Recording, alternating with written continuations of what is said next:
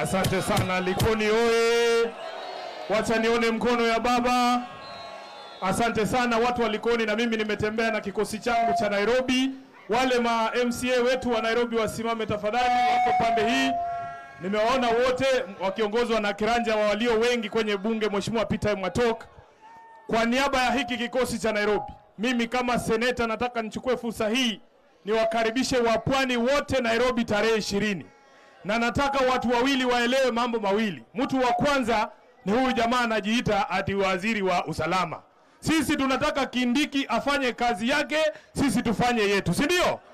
Wewe Kindiki, pambana na wale wezi wa ng'ombe wamekuzungusha huko Baringo kama mtoto. Sisi watu wa Azimio tunaenda kufuata wezi wa kura, si ndio? Na nataka mtu wa pili aelewe, gavana wa Nairobi anaitwa Johnson Sakaja.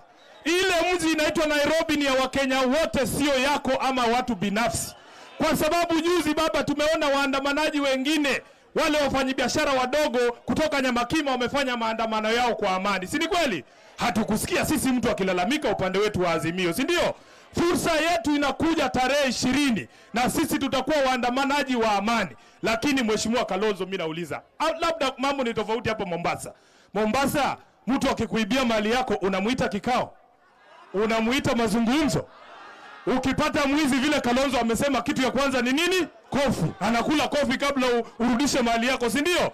Wale ambao walituibia kura zetu, hatutaki watuite mazungumzo baba, hatutazungumza na wezi. Sisi tunaingia Nairobi kutetea haki yetu. Wangapi wako tayari? Na tumekamilisha mipango yote, mtu asikutishe yoyote. Nairobi mnakaribishwa tarehe ishirini, tutetee haki yetu. Asante sana, Mungu awabariki.